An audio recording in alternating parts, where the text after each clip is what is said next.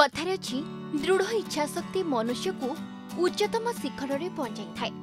ଆଉ ହରେକୃଷ୍ଣଙ୍କୁ ଦେଖିଲେ ତାଙ୍କଠାରେ ଏହା ସମ୍ପୂର୍ଣ୍ଣ ପାରି ହୋଇପଡ଼େ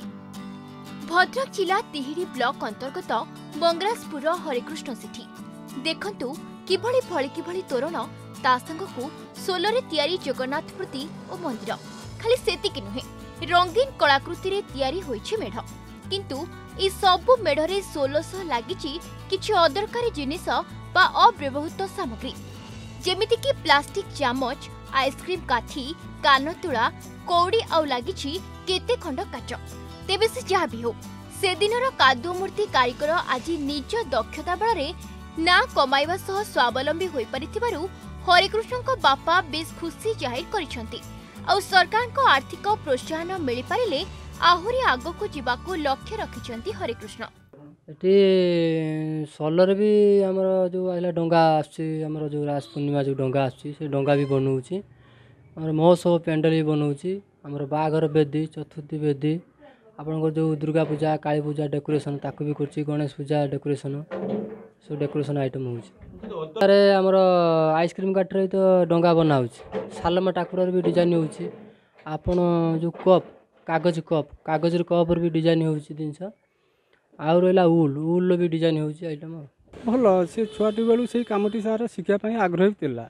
ଛୁଆବେଳେ ଯେତେବେଳେ ସିଏ ବି ହାମ୍ବୁଡ଼ଉଥିଲା ସେତେବେଳେ ତା'ର କାଗଜ ଖଣ୍ଡ ଧରିକି ଗାରେଇବା ମାଟିର ବାଗେଇବା ଏମିତି କ୍ରମଶଃ ସେ ତା'ର ବଢ଼ିଲା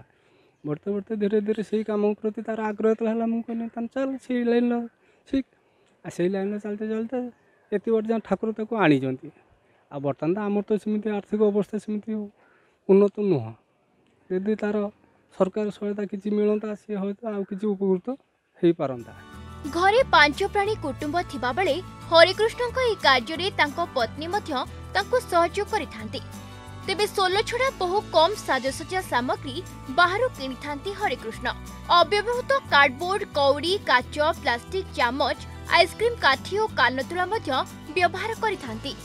ଦୋଳ ମେଳନରେ ଠାକୁରଙ୍କ ମେଢ଼ ହେଉ କି ବିଦ୍ୟାଳୟର ଉତ୍ସବ ସବୁଠି ହରେକୃଷ୍ଣଙ୍କୁ ଖୋଜା ପଡ଼େ ତେବେ ହରେକୃଷ୍ଣଙ୍କ ଏହି କାମ ପାଇଁ ପରିବାର ଲୋକଙ୍କଠାରୁ ଆରମ୍ଭ କରି